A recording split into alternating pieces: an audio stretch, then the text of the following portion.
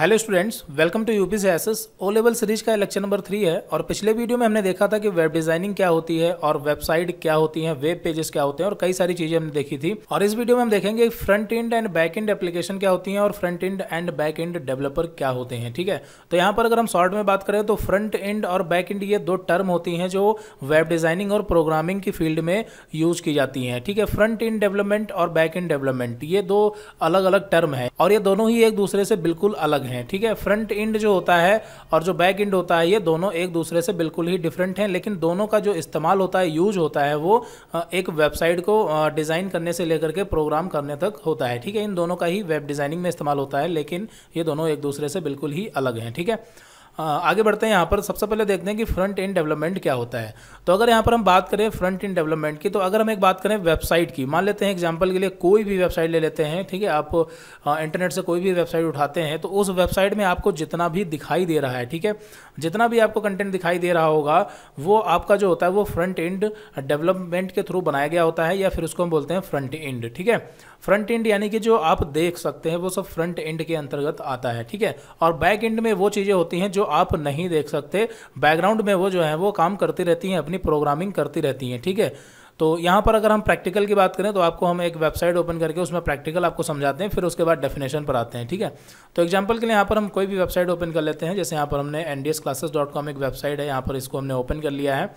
तो इस वेबसाइट में यहाँ पर आप जो भी देख पा रहे हैं, यहाँ पर home button new student notes joint test series test schedule यहाँ पर आप जो चीज़ें भी देख पा रहे होंगे इमेजेस पिक्चर लोगो ठीक है, ये सारा का सारा जो है ये आपका डिज़ाइनिंग का काम होता है, यानी कि फ्रंट एंड का काम होता है, ठीक है, ये सब आपका फ्रंट एंड के अंतर्गत आता है, ठीक है।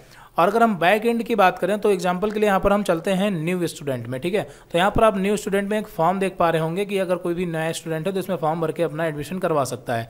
तो यहाँ पर भी अभी आप जो भी देख रहे हैं यहाँ पर आपको नेम अपना डालना है और क्लास आपको सेलेक्ट करनी है ई मेल और ये सारी चीज़ें इसमें आपको सेलेक्ट करनी है और सेलेक्ट करने के, यानी कि सारी चीज़ें आप फिल करने के बाद में जब आप सबमिट बटन पर क्लिक करते हैं, समझ गए ना?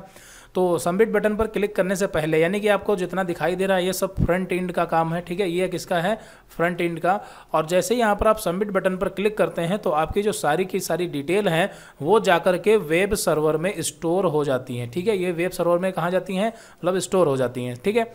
तो ये जो सबमिट बटन पर कोडिंग की गई है प्रोग्रामिंग की गई है कि सबमिट करते ही सारी डिटेल जो है वो इस डेटाबेस में, इस सर्वर में ऐसे जाके इस तरह से स्टोर हो जाएँ। तो ये जो प्रोग्रामिंग होती है, ये आपका होता है बैक एंड समझ गए होंगे आई थिंक ठीक है? ये क्या होता है? बैक एंड जो आपको दिखाई नहीं देता। आप यहाँ पर सबमिट बटन पर क्लिक करेंगे तो उसका जो कोड वगैरह होगा वो आपको नहीं दिखाई देगा। डायरेक्टली आप जो है, आपका जो फॉर्म है वो सबमिट हो जाएगा, सारी डिटेल जो है वो सर्वर में स्टोर हो जाती है। तो यहाँ पर जो सर्वर में डिटेल स्टोर कराने का जो मैथड है, जो कोडिंग की जाती है, जो प्रोग्रामिंग लिखी जाती है, उसी को बोलते हैं बैक एंड ठीक है? यानी बैक एंड डेवलपमेंट और बाकी जो आपको दिखाई दे रहा है, ये सब आपका फ्रंट एंड होता है। और यहाँ पर अगर हम इसका कोड दिखाएँ, यहाँ पर आप ये जो फॉर्म देख रहे हैं, या किसी भी वेबसाइट का अगर आप कोड देखना चाहते हैं कि वो उसके लिए क्या कोड लिखा गया है तो उसके लिए आपको राइट क्लिक करना है और यहाँ पर आपको चले जाना व्यू पेज सोर्स में, ठीक है? व्यू पेज सोर्स में आप जाएँगे तो यहाँ पर आप देख सकते हैं कि उस वेबसाइट को बनाने के लिए यहाँ पर क्या कोड किया गया है, ठीक है? ये एच और यहाँ पर जो आपको कोड दिखाई दे रहा है। इसमें आपको एचटीएमएल ठीक है, और सीएसएस और यहाँ पर जावा स्क्रिप्ट का जो है कोड आपको केवल दिखाई देगा, ठीक है, क्योंकि ये तीनों ही लैंग्वेज जो होती हैं वो फ्रंट एंड के अंतर्गत आती हैं, ठीक है। इन तीनों लैंग्वेज से ही फ्रंट एंड यानी जो आप देख पा रहे हैं, वो सारा कुछ एच टी और जावा स्क्रिप्ट से डिज़ाइन किया जाता है। और यहाँ पर जो बैक एंड होता है आपका, ठीक है, जो बैक एंड में काम करता है, उसके लिए यहाँ पर प्रोग्रामिंग लैंग्वेज पीएचपी या फिर पाइथन ठीक है, और या फिर सी प्लस प्लस या फिर जावा का इस्तेमाल किया जाता है। ये आपकी प्रोग्रामिंग लैंग्वेज होती हैं, और भी बहुत सारी प्रोग्रामिंग लैंग्वेज होती हैं, जिनका इस्तेमाल बैक एंड में किया जाता है सर्वर साइड जिसको बोलते हैं, ठीक है। इसको सर्वर साइड भी बोलते हैं सर्वर साइड स्क्रिप्टिंग लैंग्वेज और ये जो होती हैं, ये आपकी क्लाइंट साइड भी होती हैं, ठीक है? मतलब इसको क्लाइंट साइड भी बोलते हैं और फ्रंट एंड भी बोलते हैं और इसको सर्वर साइड और बैक एंड भी बोलते हैं। समझ गए होंगे आई थिंक तो यहाँ पर दो प्रकार के व्यक्ति भी होते हैं डेवलपर भी होते हैं। एक डेवलपर होता है जो कि वेब को डिज़ाइन करता है, यानी कि उस कैसे दिखेगी वेबसाइट वो सारा कुछ एच टी और जावा स्क्रिप्ट सेट रेडी करता है। और दूसरा जो डेवलपर होता है, वो बैक एंड में काम करता है, वो देखता है कि कौन सा प्रोग्राम किस चीज़ के लिए लिखना है, वहाँ पर कैसे डेटा स्टोर कराना है। ये सारी चीज़ें जो होती हैं वो बैक एंड में होती हैं और इसका डेवलपर अलग होता है। और कभी कभी क्या होता है कि दोनों का डेवलपर सेम होता है, उसको बोलते हैं फुल स्टैक डेवलपर ठीक है? फुल स्टैक डेवलपर यानी कि जिसको दोनों चीज़ें आती हैं, वो फुल स्टैक डेवलपर कहलाता है। तो समझ गए होंगे आई थिंक कि वेबसाइट जो है वो दो कैटेगरी में बांटी गई है फ्रंट इंड और बैक इंड यहाँ पर आप जितना भी कोड देख रहे हैं, वो सब फ्रंट इंड का है बैक इंड का कोड आप नहीं देख सकते किसी भी वेबसाइट का, ठीक है? चलिए तो यहाँ पर आपको फ्रंट इंड और बैक इंड हमने प्रैक्टिकल बता दिया। अब आप यहाँ पर जो है डेफिनेशन पढ़ सकते हैं। इसमें वही चीज़ लिखी गई है। देखिए फ्रंट इंड डेवलपमेंट उन सभी चीज़ों का प्रबंधन करता है जो उपयोगकर्ता अपने ब्राउज़र या एप्लीकेशन में अपनी आँखों से देख सकता है। यहाँ पर जो है ये वर्ड गलत लिख गया है। यहाँ पर क्या कह रहा है कि उपयोगकर्ता अपने आँखों से जो है अपने ब्राउज़र पर देख सकता है यह वेबसाइट का एक हिस्सा होता है जिसे उपयोगकर्ता सीधे बातचीत कर सकता है, यानी कि उस पर अपना काम कर सकता है, जिसे फ्रंट एंड कहा जाता है। इस एप्लीकेशन को क्लाइंट साइड के रूप में भी जाना जाता है या हाइपर टेक्स्ट मार्कअप लैंग्वेज यानी एच और जावा स्क्रिप्ट और कैसकेटिंग स्टाइल सीट यानी कि सीएसएस हमने बताया एच टी और जावा स्क्रिप्ट जैसी तकनीकों के संयोजन का उपयोग करके बनाया जाता है। Front end develop front end developer web page पर बटन मेनू लिंक ग्राफिक्स और अधिक सही तत्वों का अनुभव और डिज़ाइन करते हैं। मतलब वही चीज़ है वेबसाइट में आप जो भी इमेजेस बटन मेनू जो भी देखते हैं, वो सारा का सारा जो है वो एच टी और जावा से बनाया गया होता है, ठीक है? तो ये होता है आपका फ्रंट इंड और बाकी यहाँ पर ऊपर बढ़ें तो यहाँ पर आप जो है एच की और सीएसएस की और जावा स्क्रिप्ट की डेफिनेशन देख सकते हैं और बाकी डिटेल में आगे आपको और मिलेगी, ठीक है? यहाँ पर अगर हम शॉर्ट में बात करें तो H T hyper text markup language एक वेबसाइट का मूल है, जो सभी डिज़ाइन और कार्य क्षमता प्रदान करती है। यह हाइपर टेक्स्ट और मार्कअप लैंग्वेज का संयोजन है। हाइपर टेक्स्ट मार्कअप लैंग्वेज इसका फुल फॉर्म है तो हाइपर टेक्स्ट क्या होता है, ठीक है? तो किसी भी वेबसाइट पर आप जो भी टेक्स्ट देखते हैं, वो होता है आपका हाइपर टेक्स्ट ठीक है? वो सारा का सारा टेक्स्ट जो होता है, वो क्या होता है आपका? हाइपर टेक्स्ट कहलाता है, ठीक है? मार्कअप लैंग्वेज यानी कि मार्कअप लैंग्वेज इसलिए क्योंकि ये मार्क को समझती है। मार्क यानी कि किसी भी टेक्स्ट को वर्ड को, शब्द को, इस चीज़ को समझती है स्पेस या फिर एंटर को नहीं समझती, ठीक है? और बाकी इसके बारे में जब हम डिटेल में पढ़ेंगे तो आपको अच्छे से समझ आएगा कि ये हाइपर टेक्स्ट मार्कअप लैंग्वेज क्या है, ठीक है? यानी एच क्या है और ये कैसे काम करती है? ये कंटेनर की तरह काम करती है, यानी कि किसी भी वेबसाइट का जो स्ट्रक्चर होता है, जो ढांचा होता है, वो एच से ही बनाया जाता है। और सी जो होती है, ये डिज़ाइनिंग के लिए इस्तेमाल की जाती है कैस्केडिंग स्टाइल सीट यानी कि सी ये डिज़ाइनिंग के लिए इस्तेमाल की जाती है, ठीक है? और जो आपकी जावा स्क्रिप्ट होती है ये आपकी प्रोग्रामिंग के लिए इस्तेमाल होती है। देखिए, यहाँ पर जो जावा स्क्रिप्ट होती है, ये फ्रंट इंड में भी आती है, ठीक है, और बैक इंड में भी आ जाती है, क्योंकि ये जावा स्क्रिप्ट ऐसी लैंग्वेज है, क्योंकि यानी बिना किसी सर्वर के ट्रांसलेट हो जाती है। इसको किसी भी सर्वर की ज़रूरत नहीं होती है, जबकि प्रोग्रामिंग लैंग्वेज जो है PHP और पाइथन जावा इन सभी को जो है ट्रांसलेटर की या फिर सर्वर की ज़रूरत पड़ती है, जबकि जावा स्क्रिप्ट को सर्वर की ज़रूरत नहीं पड़ती, और ये फ्रंट इंड और बैक इंड दोनों में काम करती है, ठीक है। लेकिन ज़्यादातर फ्रंट इंड में इसका इस्तेमाल किया जाता है कभी कभी ज़रूरत पड़ने पर बैक एंड में भी इस्तेमाल कर लिया जाता है, ठीक है? तो यहाँ पर आगे बढ़ते हैं तो यहाँ पर एच टी एम और जावा तीनों का काम आपको समझ आ गया, बाकी इसको हम डिटेल में प्रैक्टिकल देखेंगे, तब और बेहतर समझ आएगा। फिर उसके बाद यहाँ पर front end framework and library ठीक है? तो देखिए फ्रेमवर्क क्या है, ठीक है? फ्रेमवर्क क्या होता है कि जैसे CSS लैंग्वेज आपकी जो है, ये क्या करती है? ये किसी भी वेबसाइट को डिज़ाइन करने के लिए इस्तेमाल की जाती है। तो यहाँ पर हमें बहुत सारा कोड लिखना होता है, यानी सी का कोड लिखना होता है कि किसी भी इमेज की विथ कितनी होनी चाहिए हाइट कितनी होनी चाहिए। अगर आपको बटन चाहिए, एक होम का बटन चाहिए, एक नोट्स के लिए बटन चाहिए मतलब इस तरह से मेनू चाहिए, उनके लिए बटन चाहिए तो उसके लिए आपको सीएसएस का कोड लिखना पड़ेगा, जो कि काफ़ी लाइनों का और काफ़ी बड़ा हो सकता है, ठीक है? लेकिन फ्रेमवर्क में क्या होता है कि फ्रेमवर्क में जो कोड होता है, वो पहले से लिखा होता है। ये कोड जो होता है, वो पहले से ही लिखा गया होता है और उसकी एक क्लास होती है। क्लास होती है, हम ऐसे समझ सकते हैं, उसका मतलब एक आईडी होता है, जिसके ज़रिए हम उस कोड को अपनी वेबसाइट में, ठीक है, यहाँ पर हमारी वेबसाइट है और इस वेबसाइट में उस कोड को जोड़ देंगे तो हमें ये कोड लिखना नहीं पड़ेगा, ये कोड ऑटोमेटिक हमारी वेबसाइट में जुड़ जाता है, ठीक है?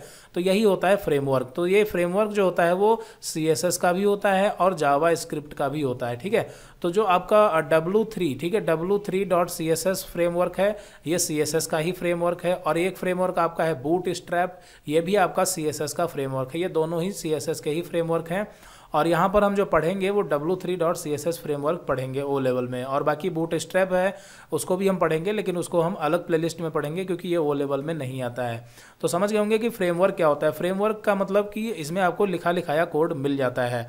इसी तरह से अगर हम बात करें यहाँ पर देखिए एंगुलर जेएस रिएक्ट जेएस ये सब क्या है? जावा स्क्रिप्ट के फ्रेमवर्क हैं। ठीक है? ये क्या है? आपके जावा स्क्रिप्ट के फ्रेमवर्क होते हैं। और आगे बढ़ते हैं यहाँ पर, क्योंकि देखिए थ्योरी आपको तभी समझ आएगी जब आपने प्रैक्टिकल किया होगा। तो जब आपको हम प्रैक्टिकल करवाएँगे आगे चल के, अभी दो तीन दिन वीडियो आने के बाद में जब आपका प्रैक्टिकल स्टार्ट होगा, उसके बाद में जब हम रिविजन टाइम में आपको ये थ्योरी पढ़ाएँगे तो आपको बिल्कुल एकदम फटाफट समझ में आएगी, ठीक है? इसलिए अभी ज़्यादा डिटेल में नहीं पढ़ा रहे, क्योंकि जब आपको प्रैक्टिकल अच्छे से करवा देंगे, उसके बाद में थ्योरी आसानी से समझ आ जाएगी। अभी अगर हम आपको बताते हैं तो इसको आपको रटना पड़ेगा, जो कि सही नहीं है कन्फ्यूज़ कन्फ्यूज़न क्रिएट कर देगा आगे चल के। यहाँ पर जो जे क्वेरी है, ये भी आपका जो है, ये फ्रेमवर्क है, ठीक है? चलिए तो यहाँ पर फ्रंट एंड की बात हो गई, अब बात कर लेते हैं बैक एंड डेवलपमेंट के बारे में। हालाँकि हमने शॉर्ट में बता दिया है कि बैक एंड में जो है, वहाँ पर प्रोग्रामिंग लैंग्वेज का इस्तेमाल किया जाता है। P H P C plus plus Java Python JavaScript ठीक है? तो ये जो जावा स्क्रिप्ट है, ये फ्रंट एंड और बैक एंड दोनों में काम करती है। फिर उसके बाद यहाँ पर है क्लाइंट और सर्वर स्क्रिप्टिंग लैंग्वेज ठीक है? क्लाइंट और सर्वर तो यहाँ पर हमने बताया क्लाइंट किसको बोलते हैं? आपका जो ब्राउज़र होता है, ठीक है? आपका जो ब्राउज़र होता है, उसको बोला जाता है क्लाइंट और सर्वर जहाँ पर आपकी वेबसाइट स्टोर होती है, ठीक है? ऑनलाइन इंटरनेट पर, वो आपका होता है सर्वर तो यहाँ पर क्लाइंट और सर्वर दो चीज़ें समझ आ गई होंगी। क्लाइंट यानी आपका ब्राउज़र और सर्वर यहाँ पर आपकी वेबसाइट स्टोर है। तो जब भी हम कुछ भी वेबसाइट पर सर्च करते हैं तो हम क्लाइंट के ज़रिए सर्वर को एक रिक्वेस्ट भेजते हैं। ठीक है, यहाँ पर आप नीचे डायग्राम में देख सकते हैं। देखिए, यहाँ पर डायग्राम में बताया गया है। ये आपका कंप्यूटर है, ये आपका कंप्यूटर है, यानी कोई व्यक्ति है पर्सन है, और इसमें जो है ब्राउज़र ओपन है, कोई भी, और यहाँ से जब भी वो कोई चीज़ सर्च करता है तो वो एक रिक्वेस्ट जाती है सर्वर के पास, और वेबसाइट जो होती है, जिस मतलब जिस भी टॉपिक को आप सर्च कर रहे हैं, उससे रिलेटेड जो वेबसाइट होती हैं, वो सर्वर के पास ऑलरेडी स्टोर होती हैं। फिर यहाँ पर कई सारे सॉफ्टवेयर क्रॉलर होता है सर्च इंजन होते हैं, इन सभी का इस्तेमाल करके जो भी आपने यहाँ पर सर्च किया है, उससे जुड़ा हुआ रिज़ल्ट वहाँ से आपको रिस्पॉन्स मैसेज देती है, यानी आपको वापस रिस्पॉन्स देती है उस सर्वर से डेटा को उठा करके। समझ गए होंगे आई थिंक तो यहाँ पर यह क्या है, आपका क्लाइंट है और ये क्या है, आपका सर्वर है, जिसमें डेटाबेस में आपका डेटा स्टोर है। डेटाबेस में क्या होता है जैसे अभी थोड़ी देर पहले हमने एग्ज़ाम्पल उठाया था कि आपने जो है न्यू स्टूडेंट के लिए फॉर्म अप्लाई किया और जैसे ही सबमिट बटन पर क्लिक किया तो आपका जो डेटा होता है वो कहाँ स्टोर हो जाएगा डेटाबेस में। और ये जो डेटाबेस है, ये कहाँ स्टोर है? सर्वर पर, ठीक है? यानी मेमोरी में। समझ गए होंगे आई थिंक तो ये आपका एक पूरा डायग्राम है क्लाइंट और सर्वर का, किस तरह से काम करता है यहाँ पर। बीच में यहाँ पर देखिए टीसीपी और आईपी प्रोटोकॉल का इस्तेमाल होता है, ये आपका एच क्लाइंट है, यानी कि ब्राउज़र यहाँ पर ये आपका सर्वर होता है। चलिए तो यहाँ पर ये तो समझ आ गया, आगे बढ़ते हैं, इसमें देखते हैं क्या क्या बचा है। तो क्लाइंट साइड स्क्रिप्टिंग लैंग्वेज ठीक है तो हमने बताया था क्लाइंट साइड स्क्रिप्टिंग लैंग्वेज मतलब यानी क्लाइंट साइड बोलें, या फिर हम फ्रंट इंड बोलें, एक ही बात है, ठीक है। फ्रंट इंड और क्लाइंट साइड एक ही बात है, इसी तरह से सर्वर साइड और बैक इंड एक ही बात है, ठीक है। दोनों चीज़ें मतलब ये दोनों चीज़ें और ये दोनों चीज़ें सेम हैं, इसको आप याद कर लें। तो यहाँ पर हम फ्रंट एंड की बात करें तो वही क्लाइंट साइड स्क्रिप्टिंग लैंग्वेज जिसमें एच टी एम ये सारी चीज़ें आ जाती हैं। और यहाँ पर अगर हम बात करें सर्वर साइड की तो इसमें आपका वही P H P C plus plus ये सारी चीज़ें आती हैं, ठीक है? आगे बढ़ते हैं यहाँ पर, बाकी इसको डिटेल में आप पढ़ लेना। यहाँ पर सर्वर साइड स्क्रिप्टिंग लैंग्वेज के कुछ पॉइंट दिए गए हैं। जब उपयोगकर्ता ब्राउज़र सर्वर से अनुरोध करता है तो कई स्थितियों के आधार पर डायनेमिक पेज बनाने के लिए इसका उपयोग किया जाता है, ठीक है? तो हमने आपको बताया था कि स्टैटिक वेबसाइट होती हैं और डायनेमिक वेबसाइट भी होती हैं। तो डायनेमिक वेबसाइट जो होती हैं, उसमें जो है फ्रंट इंड और बैक इंड दोनों का इस्तेमाल किया जाता है, इस चीज़ का ध्यान रखना। और आपकी जो स्टैटिक वेबसाइट होती हैं, वो आपकी जो होती हैं, वो फ्रंट इंड पे बनाई जाती हैं। यानी कि सिर्फ़ उसमें एचटीएमएल ठीक है? और सीएसएस का इस्तेमाल होता है, ठीक है? सिर्फ़ एच और सीएसएस का इस्तेमाल होता है जावा स्क्रिप्ट का भी कर सकते हैं, ठीक है? तो ये आपकी जो वेबसाइट होती है स्टैटिक होती है, जैसे कोई न्यूज़ वाली वेबसाइट हो गई, हालाँकि न्यूज़ वाली वेबसाइट भी डायनेमिक ही होती हैं, लेकिन हम मान लें तो न्यूज़ वाली वेबसाइट जो है, वो हम स्टैटिक बनाएँगे, तब भी हमारा काम जो है, वो चल जाएगा, ठीक है? क्योंकि न्यूज़ में क्या होता है, सिर्फ़ हमें उसमें जो लिखा हुआ है, उसे रीड करना होता है, और वहाँ पर कोई एक्शन लेना नहीं होता है, ठीक है? तो इसलिए वहाँ पर स्टैटिक भी होगा, तब भी काम चल जाएगा, लेकिन यहाँ पर, फ़िलहाल तो सारी वेबसाइटें जो हैं, वो डायनेमिक ही होती हैं, आजकल की जो भी ठीक है? चलिए, आगे बढ़ते हैं यहाँ पर। और यहाँ पर बताया गया कि जो सर्वर साइड है, उसके लिए कई सारी लैंग्वेज इस्तेमाल की जाती हैं। P H P J S P S P S P dot net Ruby Perl ठीक है? सबसे ज़्यादा पी एच पी इस्तेमाल होती है और अभी पाइथन जो है, वो ट्रेंडिंग में आ रही है। पाइथन का भी इस्तेमाल धीरे धीरे बढ़ रहा है। लेकिन अभी तक जो है, वो पी एच पी सबसे ज़्यादा इस्तेमाल हो रही थी। और जो फेसबुक है अब फेसबुक के बारे में सभी को पता होगा तो जो फेसबुक वेबसाइट है, वो भी पी एच पी का ही इस्तेमाल करती है, ठीक है? और भी कई सारी बड़ी बड़ी वेबसाइट हैं जो PHP का इस्तेमाल करती हैं और कई पाइथन का भी इस्तेमाल करती हैं, कुछ जावा का इस्तेमाल करती हैं। अलग अलग वेबसाइट अपना जो है अलग अलग प्रोग्रामिंग यूज़ करती हैं। तो यहाँ पर आपको क्लाइंट साइड और सर्वर साइड दोनों के बारे में अच्छे से पता चल गया होगा। उसके बाद अगला टॉपिक यहाँ पर है रिस्पॉन्सिव वेब डिज़ाइनिंग अब रिस्पॉन्सिव वेब डिज़ाइनिंग क्या होती है, इसको देखते हैं यहाँ पर। रिस्पॉन्सिव वेब डिज़ाइनिंग एक दृष्टिकोण है जिसके, जिससे एक डिज़ाइनर एक वेब पेज बनाता है जो डिवाइस के प्रकार के आधार पर खुद को प्रतिक्रिया देता है।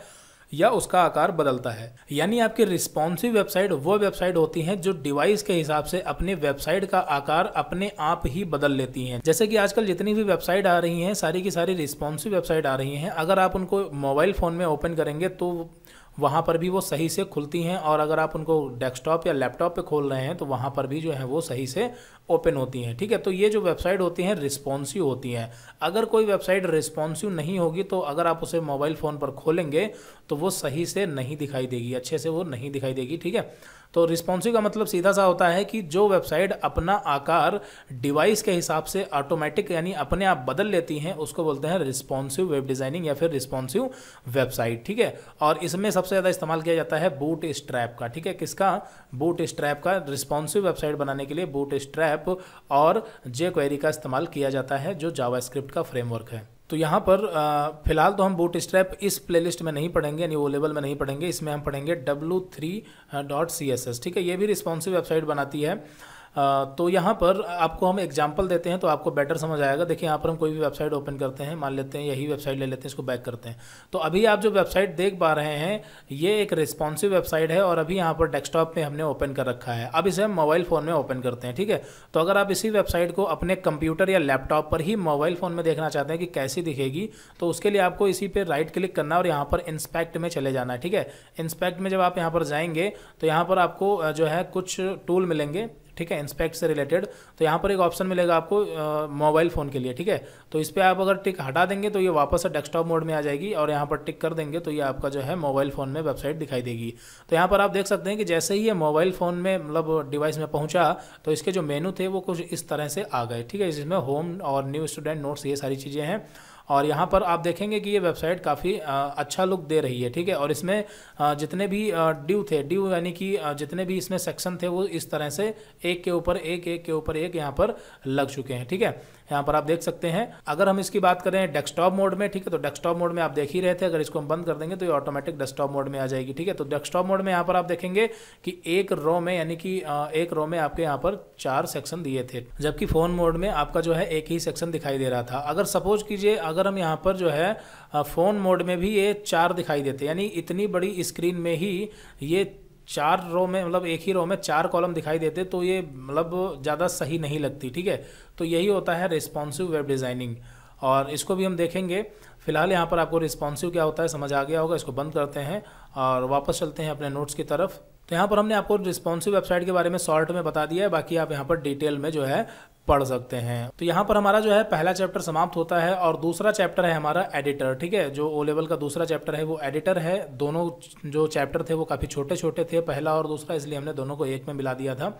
तो यहाँ पर अभी दूसरा चैप्टर है एडिटर और एडिटर यानी कि जिस पर आप कोडिंग करते हैं H T M L C S S JavaScript की, यानी कि अगर आपको वेबसाइट बनाना है तो उसके लिए आपको एक सॉफ्टवेयर चाहिए, जिस पर आप कोडिंग करेंगे तो उसी को बोलते हैं एडिटर ठीक है? तो यहाँ पर इसमें बताया गया कि आप फ्री के एडिटर इंटरनेट से कैसे डाउनलोड करेंगे और अपने कंप्यूटर में कैसे इंस्टॉल करेंगे, ठीक है? और कई सारे एडिटर हैं, और यहाँ पर हम आपको इन एडिटर को इंटरनेट से डाउनलोड और कंप्यूटर में इंस्टॉल करना भी आपको बताएँगे, ठीक है? और भी एडिटर से जुड़ी हुई जो भी चीज़ें हैं, वो आपको हम बताएँगे सारी चीज़ें, ठीक है?